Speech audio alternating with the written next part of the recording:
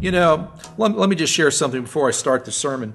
Um, I was not real encouraged to come to church this morning. How many of you were just knocking it to get here today? He was ready to come.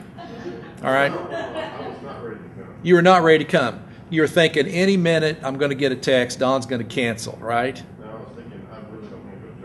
All right, good. All right, all right. S- some authenticity. All right. Is it okay if the preacher feels the same way? Absolutely. All right, all right. Because you know what I thought I was going to find was I thought I was going to find a, a small group of people that didn't want to be here because they're going. It's cold outside, and I found out that was just me. all right. Nobody else was feeling that way, and it's like you know, in, in church planning, the, the, lesson is over and over. When you expect God to do something, He usually says, I'm in charge, not you. I'll, I'll do it when I want to do it. And when you least expect Him to do something, He surprises you.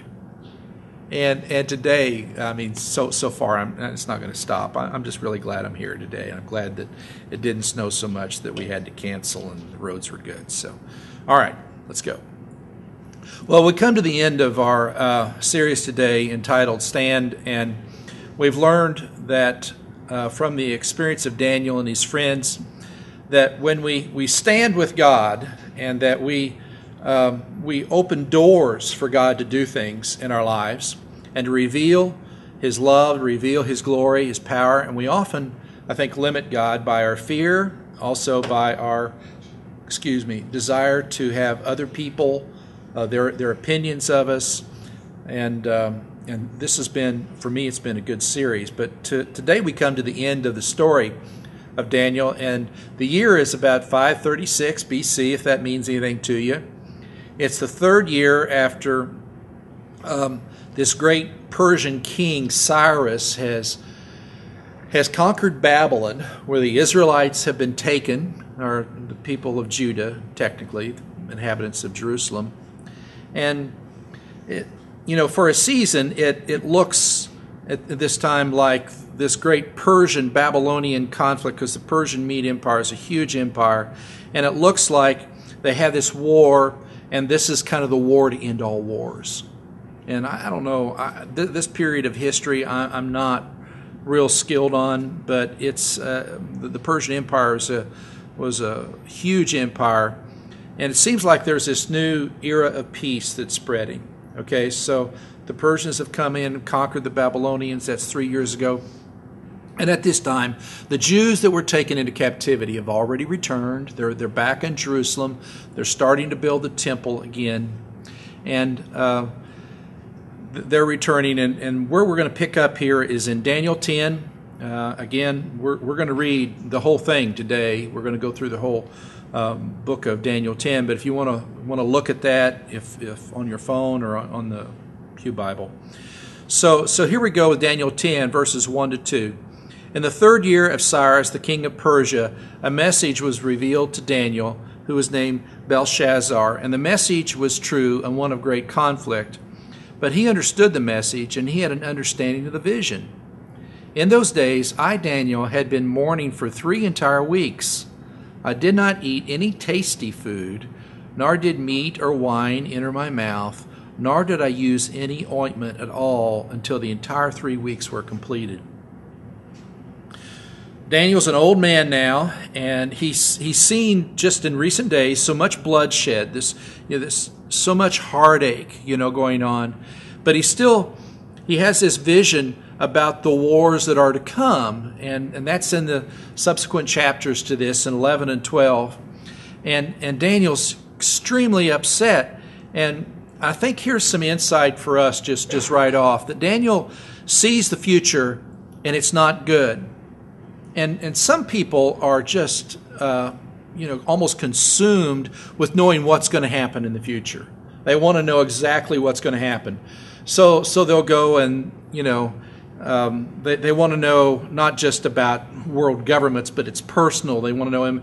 Is this relationship with this this guy? Is this going to flourish? Is this going to go anywhere? Or they want to know if they'll they'll get a better job and it's it's more than than curiosity, and often it just almost becomes an obsession that they just, you know, will uh, they'll have their cards read, or they'll they'll pay somebody, some psychic, to try to tell them what's going to happen.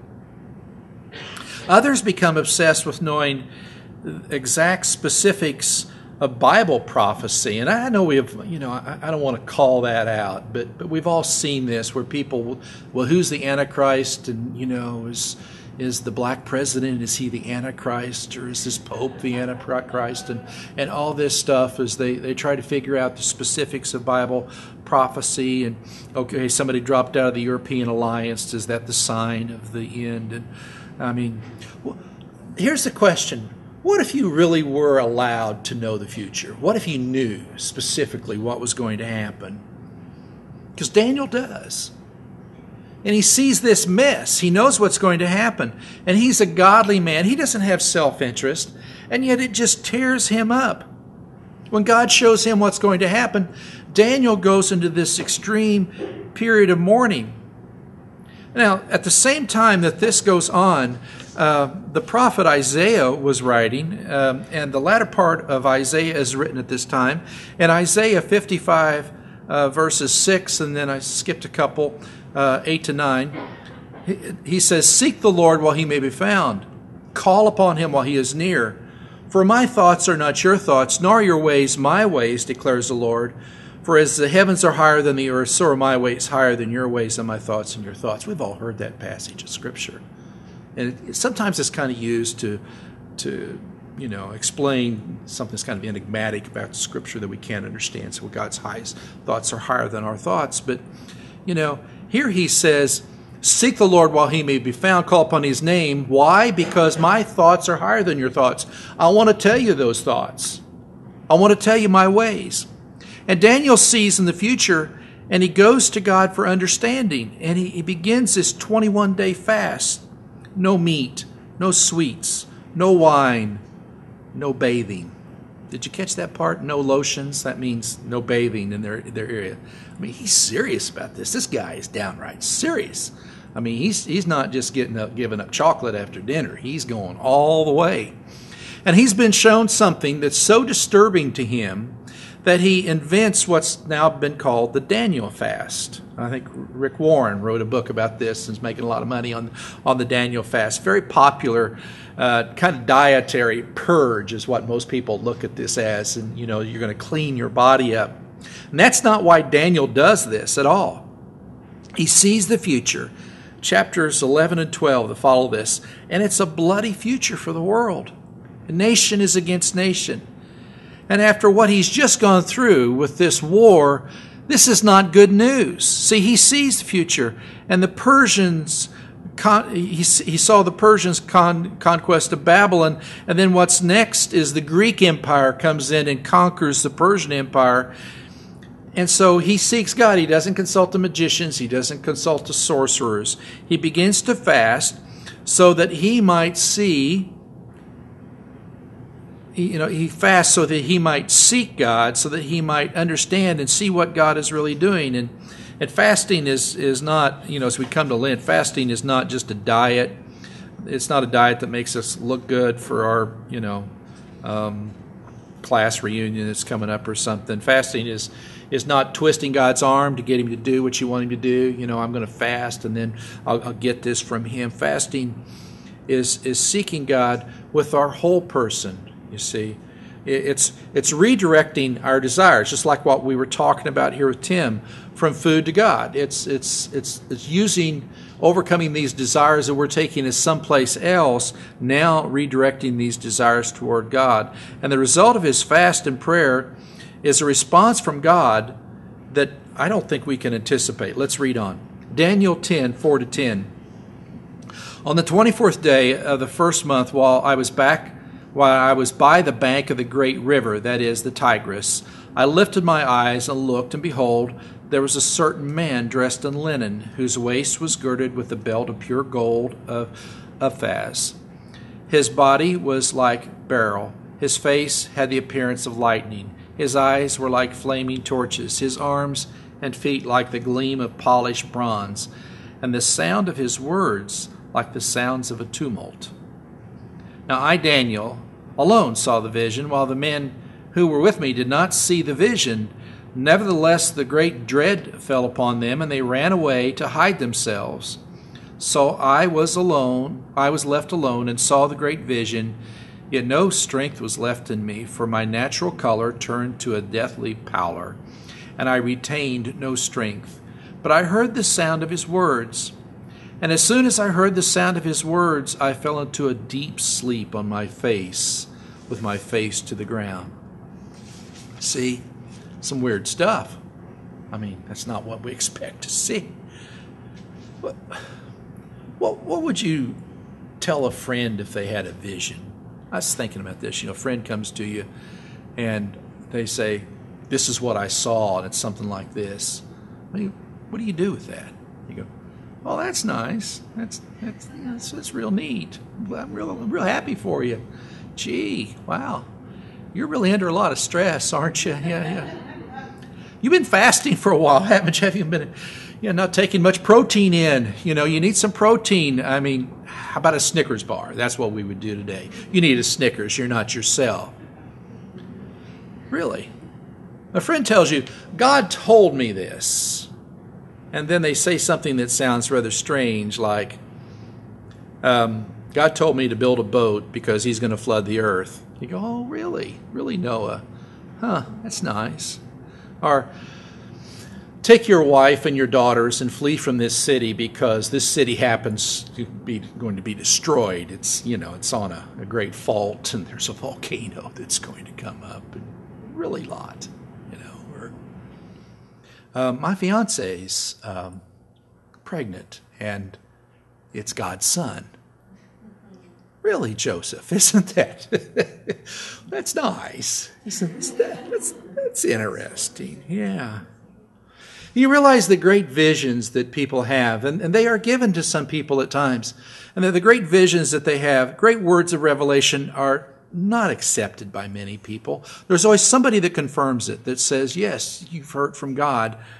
But they're always rejected. There, there's going to be a few that confirm. Almost anyone else will not see what you see or hear what you hear. And why is that? Well, probably because they're not fasting for 21 days like you are fasting. They're not really listening like you're listening. In short, they may not really want to hear. They may not really want to see what you're seeing or hearing. They, they may go hide because, because it's, it's a scary thing to hear something from God. It's really frightening. But we're promised that we will that if we seek, that we will find. That's what God says over and over in Scripture. The verse that comes to mind immediately for me that you know is Jeremiah 29 13. You will seek me and find me when you search for me with all your heart. Another prophet that's confirming to people that have been through a disciplined time that if you really listen, if you really want to hear me, you will hear me. Jesus said something similar. Remember, he said, Ask and it will be given to you. Uh, seek and you will find. Knock and it will be opened to you because everyone who asks receives and he who seeks finds and to him who knocks it will be opened. Matthew 7. Everyone. Not just, you know, the perfect ones, not just the pious ones. No qualifiers here. Just the seekers.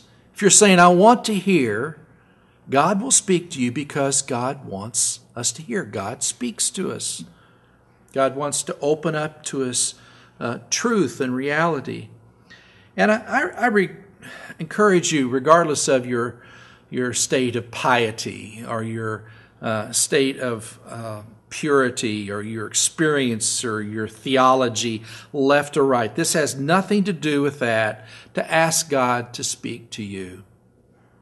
I was thinking about this. You know, um, it, it's it's not. When I was a little kid, the the person that was always held up uh, in most of the churches, not all the churches, was Albert Schweitzer. Albert Schweitzer was a man who was, whew, at age 30, he was he had become a a professor in seminary, uh, had written some very pivotal books.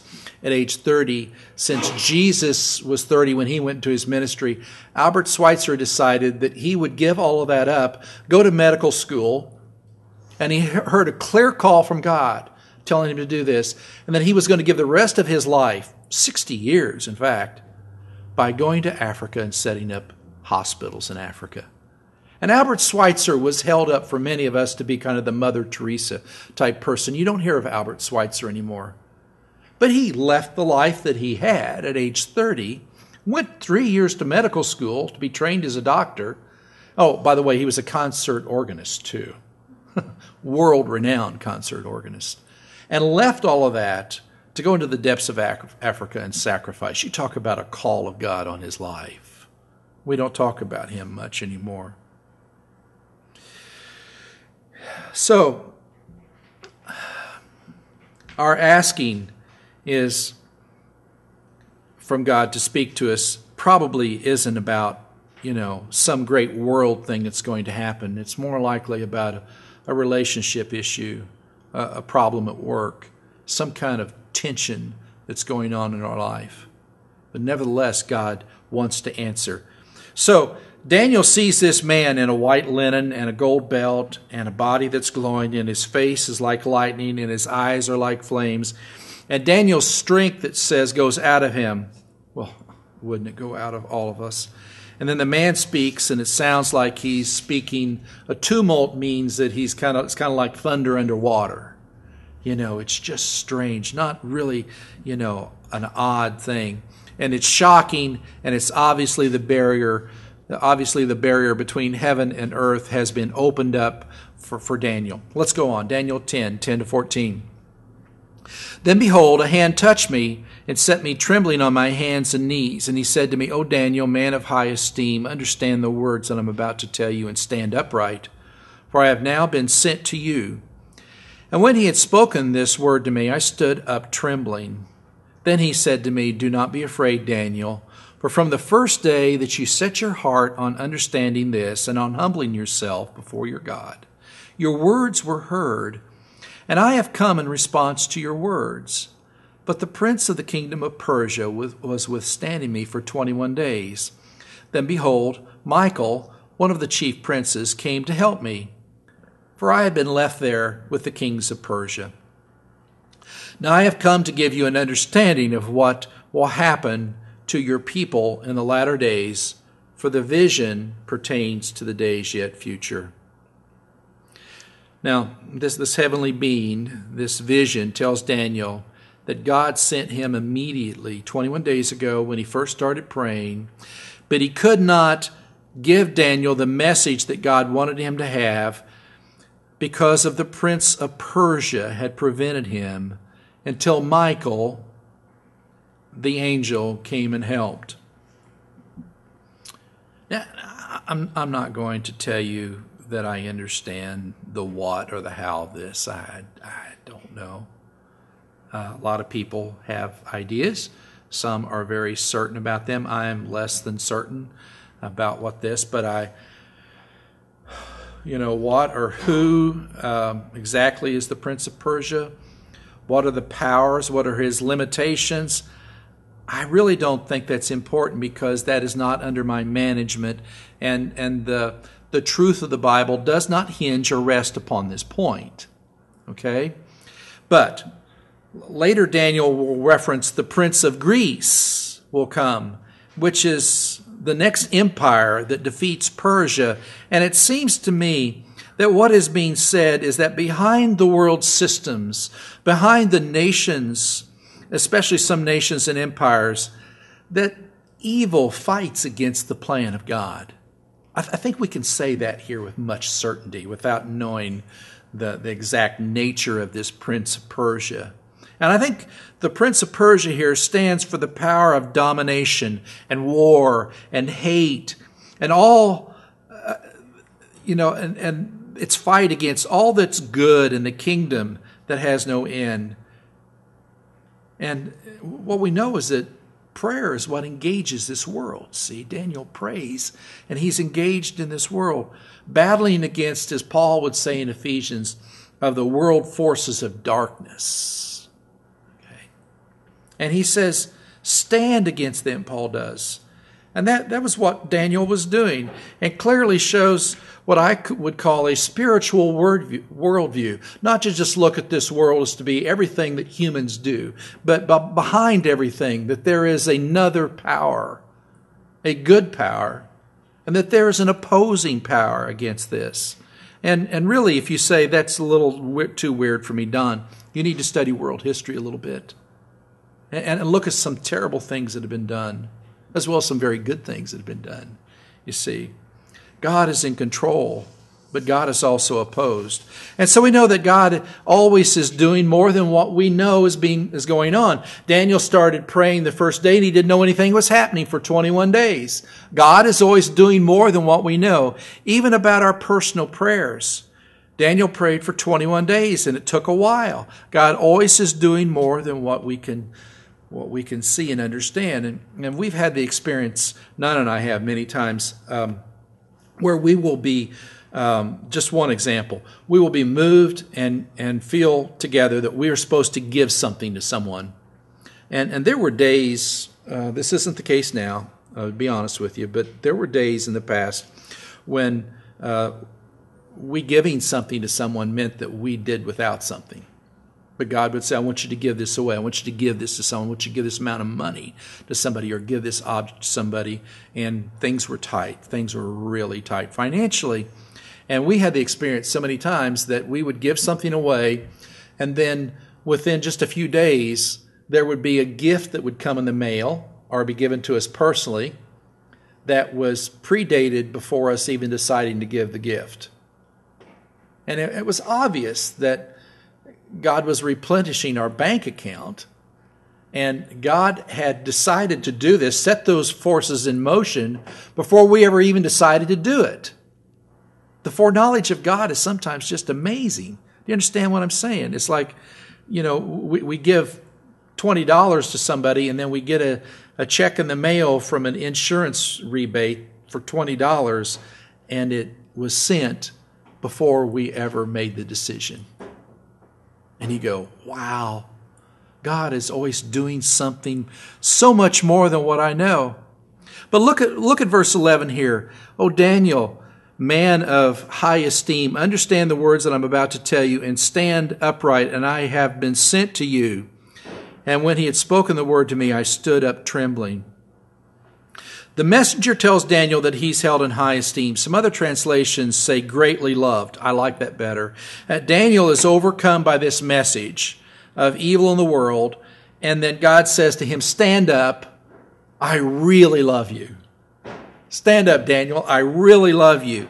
I mean, can you receive that today? Can we receive that today that God says to us, you know, stand up because I really love you. You are highly esteemed because God loves you. God loves us more than what we can know. In the same way that God is always doing more than what we know, God loves us more than what we can know. It's a love of God that leads us to seek to change. Remember the, the word of Paul to, to Romans there in Romans 2 4 says, The kindness of God leads us to repentance. It's not the terror of God, it's not the punishment of God, but it's the love of God that leads us to change you are greatly loved. We don't stand before God because we're perfect or pious or spiritual or even because we've been fasting for 21 days. We stand in the presence of God because God has chosen to love us. And He sends messengers to us all the time to tell us that good news. We continue on. Daniel 10 15 to 21. And when he had spoken to me according to these words, I turned my face toward the ground and became speechless. And behold, one who resembled a human being was touching my lips.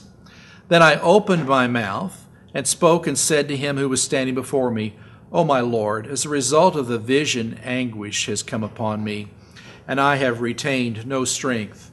For how can such a servant of my Lord talk with such as my Lord? As for me, there remains just just now no strength in me, nor has any breath been left in me. Then this one with human appearance touched me again and strengthened me. He said, O man of high esteem, do not be afraid. Peace be with you. That's shalom. Take courage be, and be courageous. Now, as soon as he spoke to me, I received strength and said, May my Lord speak, for you have strengthened me. Then he said, Do you understand why I came to you?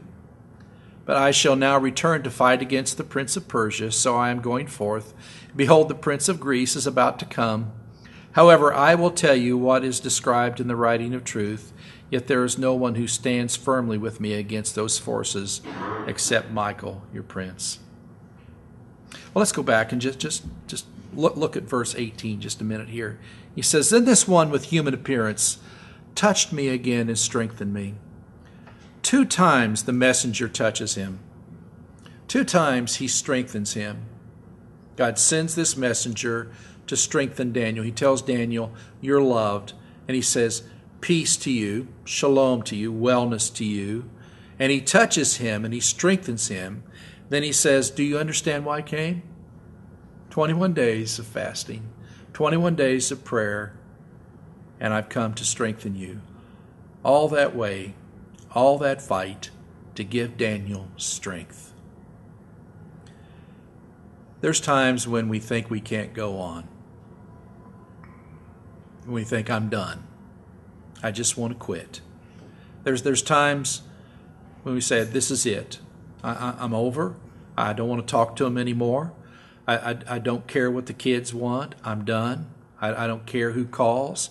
I've had it with this problem. You've been there, haven't you? You say, I just, I'm at my end. This is it. I'm at my end. I just can't go on. I'm done. And as we do that, as we get to that point, we think, man, I, am letting God down terribly today. I, I'm just really letting Him down. And we'll tell you, no, you're not. God knows where your strength is. God knows that you're not letting Him down. Because often we have to get to this point of I have no strength left in this particular problem before we will really let God. That kind of sounds like a refrigerator thing. I mean, a verse that we're saying we'd put up on a refrigerator. Maybe one of those little things with the cat hanging, you know, right? Need a little levity in here, right? One of those pictures of the cat hanging. I just hang on there. You know, put that on the refrigerator for a while. But we do. Sometimes we have to get to the point where we think, I just can't do this anymore before we will really be open to change, to letting God and listening to God. I remember in my younger days when I used to lift weights three or four times uh, a, a, week, and usually I would have a buddy at the gym. Uh, usually wasn't a close friend, just some guy you worked out with. And we would spot each other. Those of you that work out know what a spotter is, right? He's a guy that stands with you and and uh, he just turns into just a meanie uh, while he's standing with you and and uh, you get done with your reps and he goes okay three more. And you I can't do three more. And he goes you worm you can do three more. Come on you big sissy. And he stands over you and you know in case you're gonna you're gonna drop the the 450 pounds that I'm bench pressing right on my chest well he will he will step in there and grab the bar so I don't hurt myself right? But it's it's more than that. I mean there you are and he says three more and you you do the first one and you know you just can barely get it up and you start on the second one and you're spitting and you're puffing and you know like blowing artery over here and it's you know bleeding out all over the place and there's this guy and he goes come on come on come on you can do it you can do it you can do it. You know just two more one more. And the last one you sh- you're just sure you're you're going to die but you can't stop because your spotter is there and somehow you two get the thing up and you get it back on the rack. And what does he say to you? He said, Man, that was all you. I wasn't doing any of it. That was all you. And you go, Yeah, you big liar. The last one, I didn't do anything, you know. Those last three reps, though, those last three times when you got to the end, they tell us that's where the muscle's made. When you're tearing out the old muscle, that's where you're building the new muscle. And, and unless you're willing to get to, to have that spotter that's going to push you, you're never really going to go very much in weightlifting. And so often we pray and we ask and we work and we study and we wait and we wait, and it just doesn't get any better. You know what I mean? You say, How long is this going to go on? It's just not getting any better. And we get so tired and we want to give up and we say, I've had it. I can't do anymore. And it's just about that point that we think, I can't do another rep, okay? that we're open to a spotter putting his hands on our bar and taking some of the weight from us. But up until that point, we were going to lift it all on our own. We do it with God. He strengthens us. I don't know if you've been there. If if you've been there before, then you know that I'm talking is true. If you haven't been there, you'll be there. You'll you'll get there sometime where you think I just want to quit. I, I, I don't want to go on. I don't have any strength left in me. I have no resources left at all. And when you're there, keep your eyes and your ears open because that's when God's going to send you that messenger. And he's going to come alongside of you, God Himself. He's going to touch you, and He's going to say, I traveled all this way just to strengthen you because you see, I love you greatly. Because God wants to speak to us. He's always doing more than what we know, and God does want to strengthen us. Amen. Good, good ending to Daniel, isn't it? Let's let's have a prayer.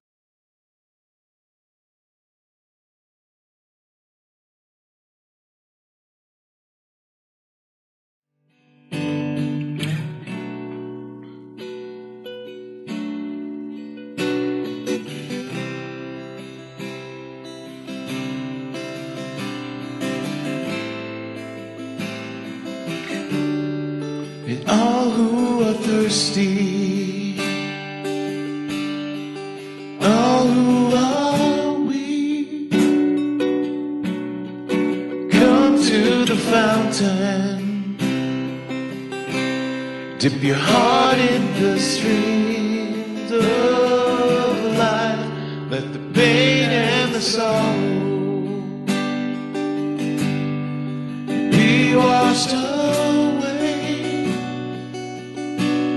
in the waves of His mercy.